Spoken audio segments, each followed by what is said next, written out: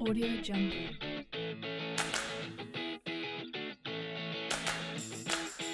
I'm Ben Cahoon with Pink Events. I'm a co-founder and race director.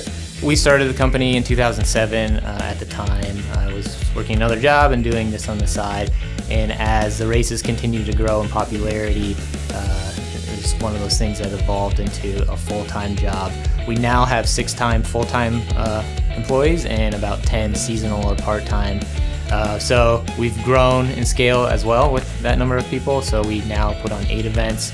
Uh, we've escalated kind of where we're doing it and just the, the size of those events.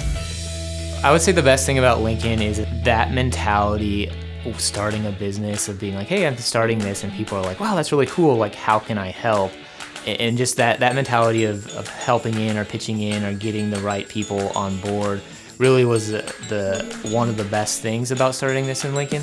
Our events bring in lots of people from around the country. So the Good Life Halfsy will bring in about 40 states, and the Market to Market Relay brings in about 36 states for those weekends.